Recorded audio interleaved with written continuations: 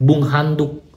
Bung Handuk yang ingin merusak selalu memberikan komentar-komentar yang menurut gua komentar yang agak lain.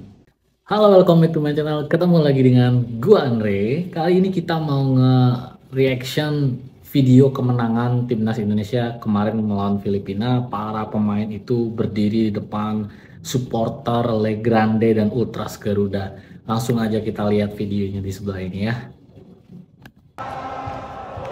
Nah, kita bisa lihat teman-teman ya, betapa bangganya pemain-pemain abroad yang ingin membela timnas Indonesia sehingga mereka merayakan euforia kemenangannya.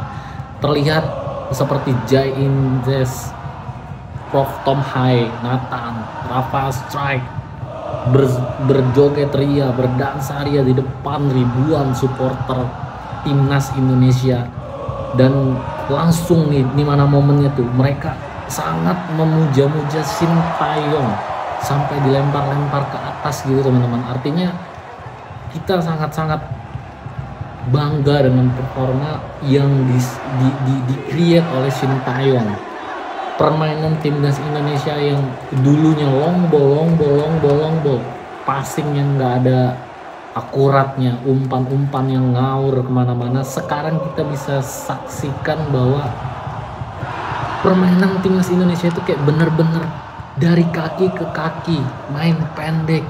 Dikombinasi juga ada long ballnya long ballnya. Tapi long ball itu tidak selalu.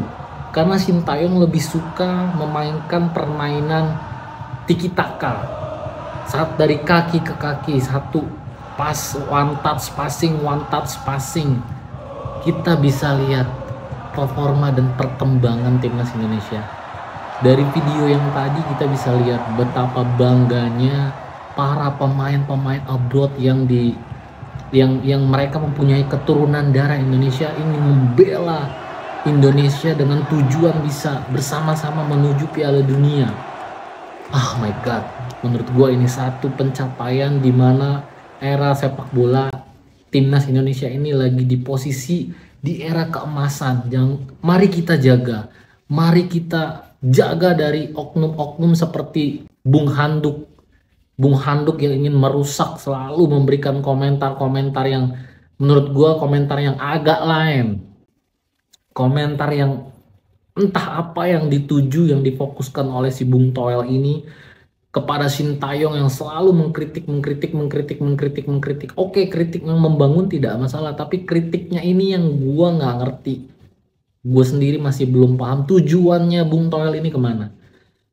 Bagaimana menurut kalian dari video tadi Timnas Indonesia merayakan kemenangan melawan Filipina dan lolos ke round ketiga. Betapa euforianya itu menjadi sangat-sangat membanggakan sehingga supporter pun menikmati dan menyanyikan Oh Garuda na la la la la la. Oh Garuda.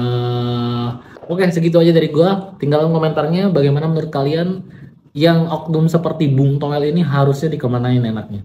Sampai ketemu lagi di video selanjutnya. Bye